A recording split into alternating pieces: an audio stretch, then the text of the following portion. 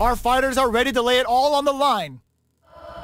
作戦開始どこからでも来い Round one. Fight. Here we go. What are these fighters going to do? Good anti-air.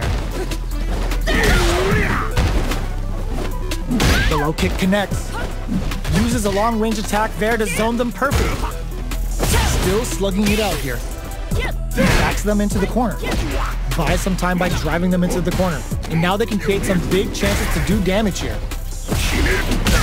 A little too greedy there. Their life is looking critical, and they can't rely too much on drive either.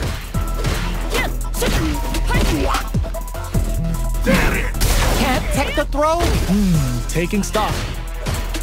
Player one is maintaining the corner position for some juicy damage. This is turning out to be a complete war. Gotta be careful not to whiff at this range. But experiencing burnout. Looking to impress with this super. Each hit is so important here. Finishes it with the anti-air. Player two takes the round like a thief in the night. What else can they get away with? Round two. Fight. Them wide open. Grabs them. Takes advantage of the hesitation and gets some good damage in return. They continue to battle it out in the middle of the stage. Our fighters are at a standstill. What's the play here? Out of range. Relatively safe.